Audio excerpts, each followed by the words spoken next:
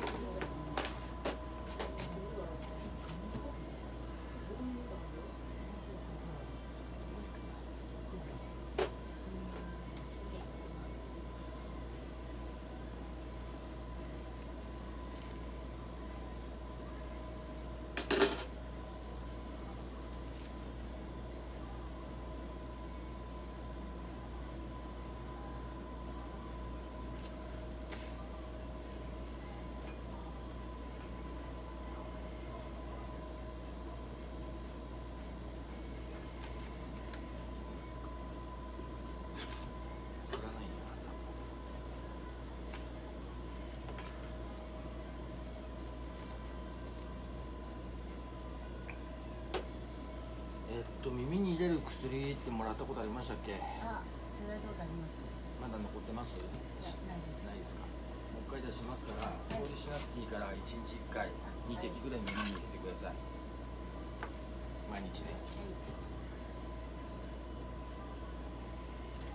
で猫ちゃんの耳ってさあの人間の耳と違って人間ってまっすぐ行って鼓膜じゃないですか。猫ちゃん一回下に置いてこういって鼓膜なんですよ。で掃除してもさここまで垂直自動までしかできなくてその奥の水平自動はやれないから薬入れると上がってくるんで薬。あの薬ねあの汚れがね。で炎症も静まってくるからそんでまた上がってきてから掃除する。で寝てる時にやったらまずいですかうん、でね、あんまりしょっちゅう掃除する。そう掃除することによって外腎が起きるから掃除するのは1週間に1回か2回ぐらいにしといた方がいいですね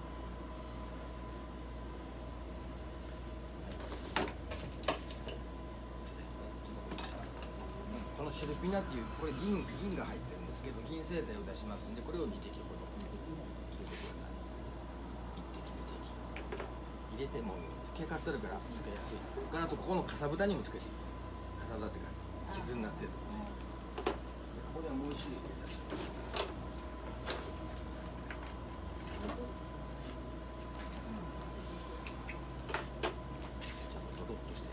これはステロイドと抗生物質が入ってますけど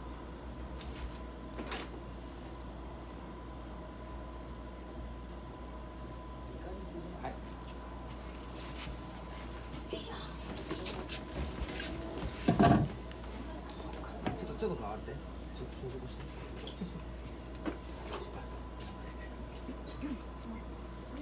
大丈夫です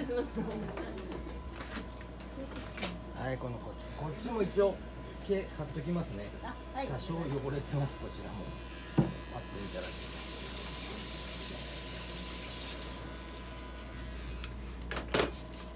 消毒したらさあのエキューティック入れてくれる。もう一本ないの？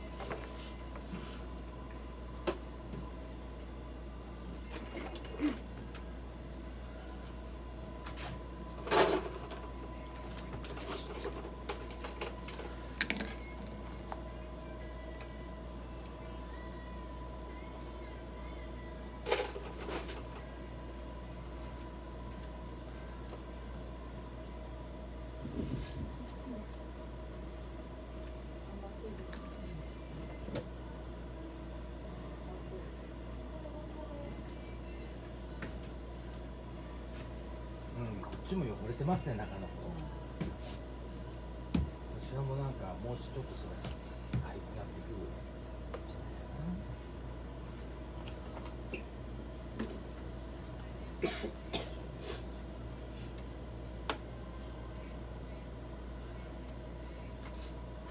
なからこの子歯磨きはしないですねあんましないですかちょっと指終わったら最後にちょっと歯のチェック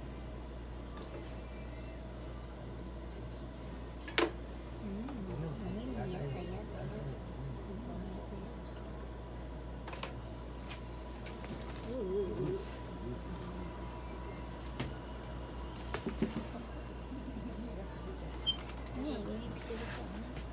さあちょっとこっちにして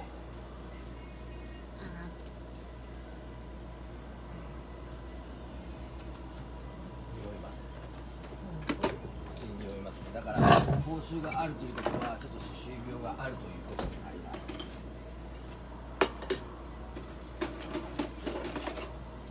歯周病があるとです猫ちゃんってさ年齢いくと、まあ、猫ちゃんじゃなくてもそうなんだけどいろんな病気になる可能性があるじゃないですか。例えば慢性腎臓病とか例えば関節の病気とか心臓病とかお口お口の臭い子は悪玉菌がね口から全身に行ってそういう悪いところの悪くなるペースが速くなっちゃいますだからそっちは日本は匂いした方がいいんですけどねでこれはあの歯周ポケットの悪玉菌を弱らせる薬すごいな。ほんでで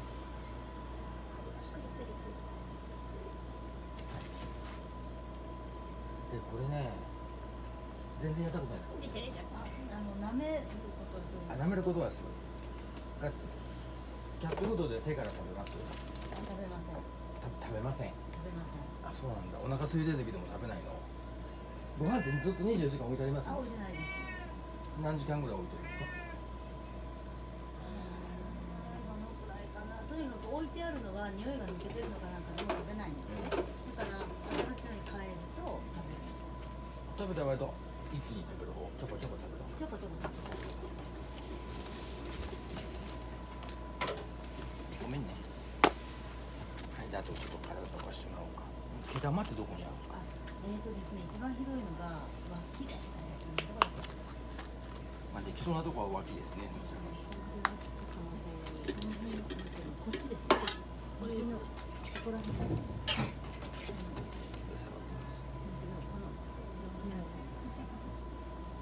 ねこれね左裏裏そうで。す裏側で。す内側のこっちが一番大きいですちょっと大変かもしれな。いちょっとコンディションを手かけますこれはちょっとまた怒っちゃうかもしれな。いねきれいきれいこれはさ切ってもいいんですよねはいいいんですよね全然切ってもいいですお腹の方は分かんな。いから切っちゃいましょう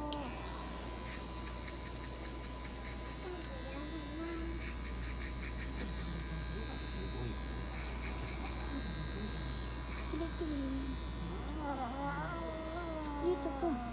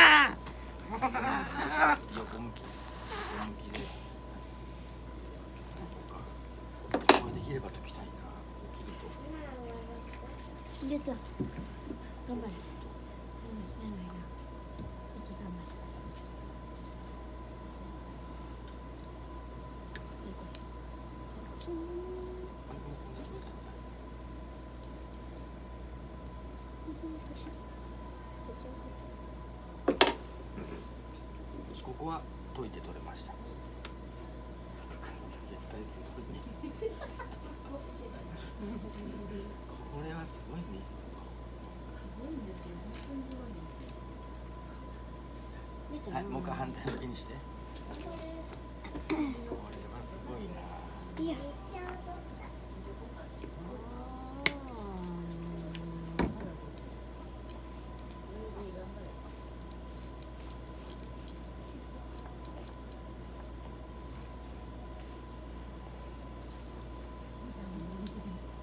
きれいきれいきれい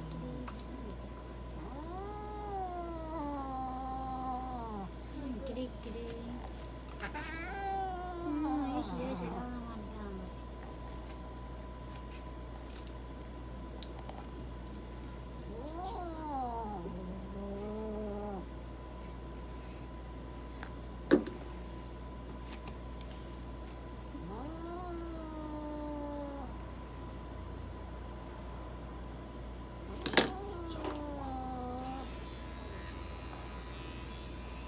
山の下がさはい。ちょっと見に来てもらっていいですか？皮膚炎が本当だ。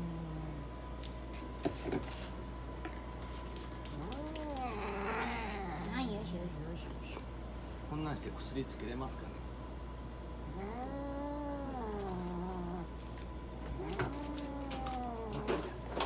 とりあえず原因がされたので一応ちょっと薬だけつけていきます。ありがとうございます。はい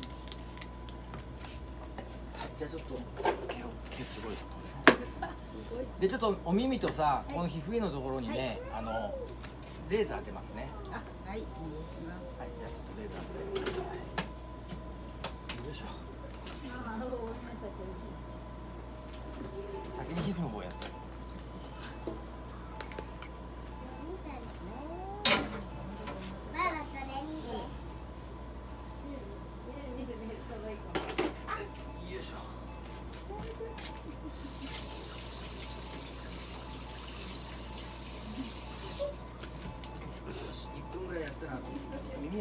体勢にすれば多分できると思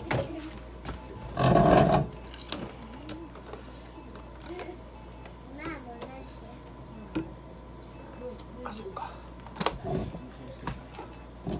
なはい。それであのレボリューションプラスっていうね左足とのみと股にここから回線を予防してくれますけどつけます。1ヶ月効いて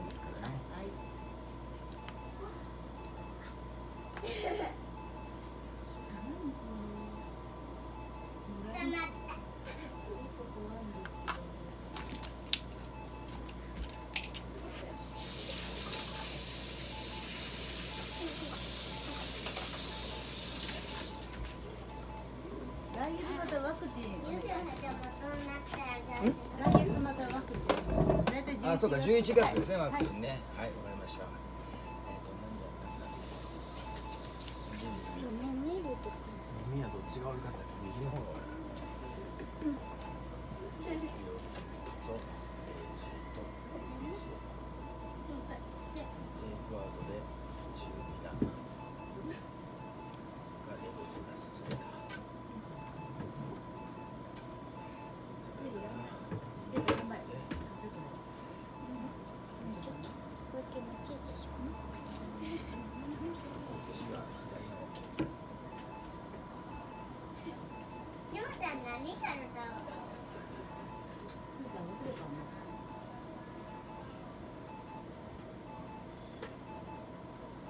やめて。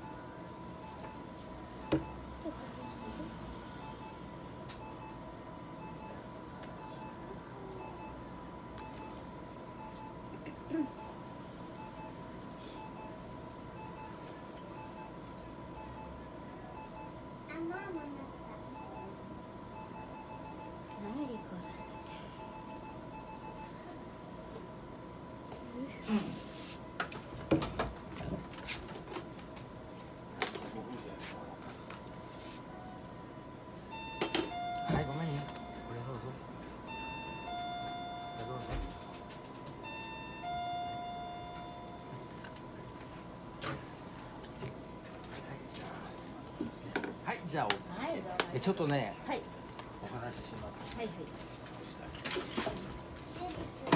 はいはい、その子一回じゃあカゴに入れてください。ティッシュで拭いて。